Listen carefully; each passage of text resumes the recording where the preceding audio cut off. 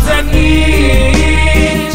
Our defending their families keep surviving. None we will abandon. Watch and pray. So goes the hymn. As we pray, so must we watch by committing our resources to ensuring that the families of our forcefully departed brethren are taken care of, that they are not left unfed, unclothed, and uncared for. We, Christian Nigeria, are the family they have now.